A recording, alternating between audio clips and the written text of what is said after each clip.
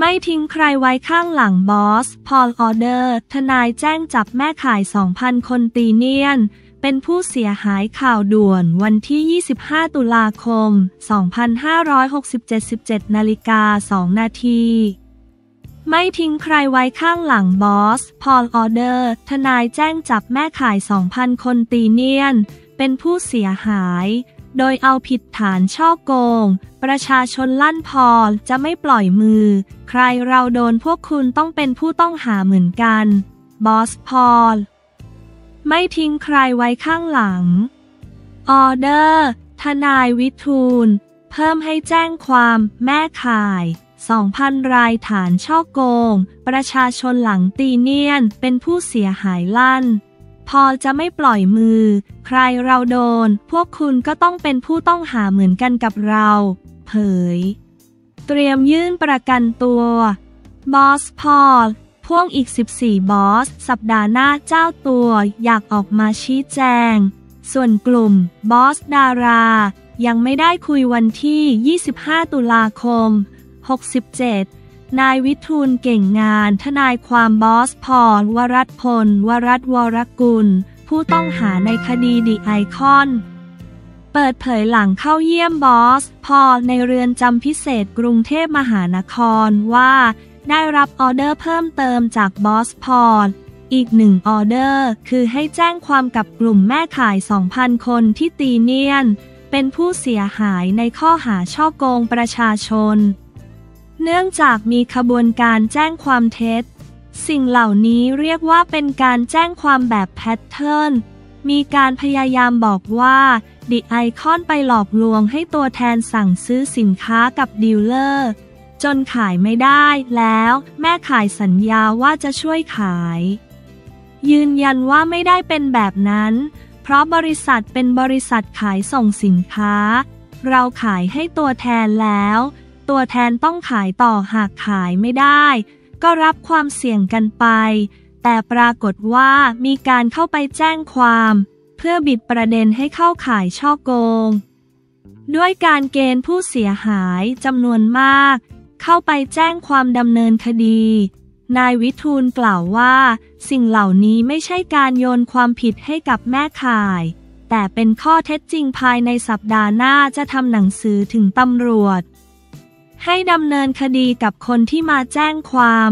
และอ้างว่าเป็นผู้เสียหาย แต่เป็นผู้เสียผลประโยชน์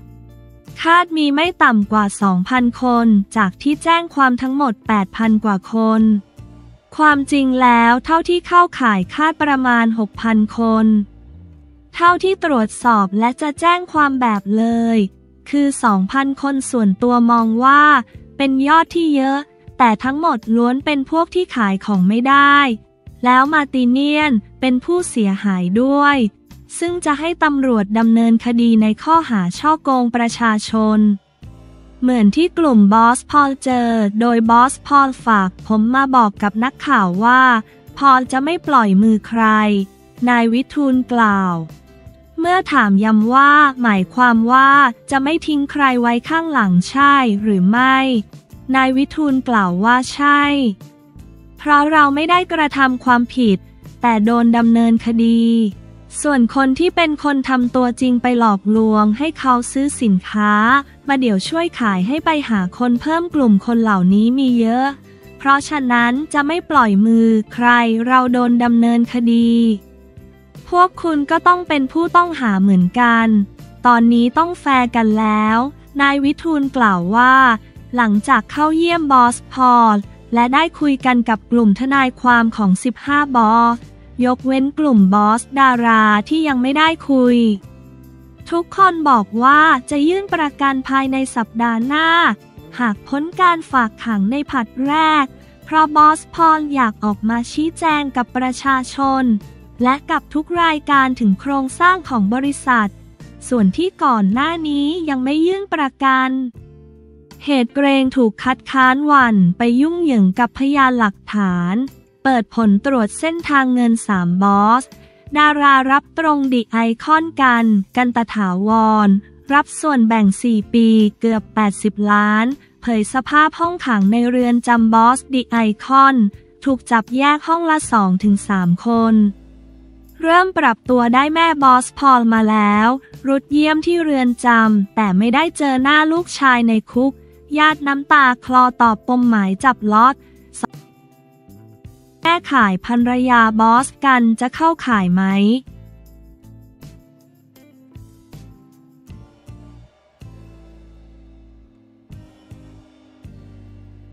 สมศักดิ์สั่งปลัดสอทอ สอบปมพยาบาลขโมยรกเด็กคาดเปตนักเรียนพยาบาลกองทัพบบก สังกัดกรมการแพทย์ การเมือง วันที่ 25 ตุลาคม 2567 15นาฬิกา57 นาที สมศักดิ์สั่งปลัดกระทรวงสาธารณสุข กรมการแพทย์ สอบปมพยาบาล ขโมยรกสายสะดือคาด เป็นโรงพยาบาลในสังกัดกรมการแพทย์ วันที่ 25 ตุลาคม 2567นายสมศักดิ์เทพสุทิน รัฐมนตรีว่าการกระทรวงสาธารณสุข ให้สัมภาษณ์ถึงกรณีผู้เสียหาย เข้าร้องเรียนที่ปรึกษานายกรัฐมนตรี เกี่ยวกับขบวนการค้าชิ้นส่วนมนุษย์ โดยพบพยาบาลวิชาชีพ และโรงพยาบาลของรัฐชื่อดัง ย่านสาทรขโมยรกสายสะดือไปขายทำสเต็มเซลล์ และยังมีบริษัทเอกชนคลินิก และโรงพยาบาลต่างๆ ไม่ต่ำกว่า 100 รายเกี่ยวข้องว่าได้รับทราบเรื่องแล้ว จึงสั่งการให้ปลัดกระทรวงสาธารณสุข กรมการแพทย์ ตรวจสอบว่าเกี่ยวข้องกับโรงพยาบาลใดบ้าง ซึ่งเรื่องนี้ต้องตรวจสอบให้ชัดเจน ด้านนายแพทย์โอภาส การกวินพงศ์ปลัดกระทรวงสาธารณสุขกล่าวว่า กำลังตรวจสอบว่า โรงพยาบาลอะไรเบื้องต้นรกถือว่า เป็นสมบัติของโรงพยาบาล ก็ให้ตรวจสอบอยู่นายแพทย์ทวีศิลวิษณุโยธิน อธิบดีกรมการแพทย์กล่าวว่า เบื้องต้นได้รายงานรัฐมนตรีว่าการกระทรวงสาธารณสุข แล้วจากข่าวอาจจะมีความเชื่อมโยงกับโรงพยาบาลในสังกัดกรมการแพทย์ แต่ข้อมูลก็ยังไม่ชัดเจน จึงขอเวลาตรวจสอบก่อนว่าเป็นโรงพยาบาลใดของเรา เพราะอาจกระทบต่อชื่อเสียงของโรงพยาบาล ให้ผู้อำนวยการโรงพยาบาลตั้งคณะกรรมการสืบข้อเท็จจริงกัน ภายในเกี่ยวกับขั้นตอนต่างๆ ในโรงพยาบาล และบุคลากรที่เกี่ยวข้องกรณีที่รกเป็นทรัพย์ จะดูว่า ฝ่ายใดเป็นผู้เสียหายทางกฎหมาย เนื่องจากที่ผ่านมาผู้ที่มาคลอดแล้ว แม่ก็จะนำเด็กกลับไป ส่วนรกสายสะดือ หรือสิ่งต่างๆ ที่เกิดขึ้นจากการคลอดถือเป็นขยะติดเชื้อ ซึ่งกระบวนการนำสิ่งต่างๆ เหล่านี้ ออกจากโรงพยาบาลจะต้องทำให้ถูกขั้นตอน ดังนั้นตรวจสอบเส้นทางการจัดการนี้ว่ามีอะไรเกิดขึ้น ผู้รับผิดชอบ คือผู้อำนวยการโรงพยาบาล หากพบว่าผิดจากเส้นทางที่กำหนด จะถือว่าโรงพยาบาลเป็นผู้เสียหาย ก็ให้ผู้อำนวยการโรงพยาบาล แจ้งความดำเนินการตามกฎหมายไว้ก่อน เพื่อให้ตำรวจเข้ามาตรวจสอบข้อเท็จจริง ทั้งเรื่องขั้นตอนและบุคลากร ทั้งนี้รัฐมนตรีว่า การกระทรวงสาธารณสุขกำชับให้ตรวจสอบให้ดี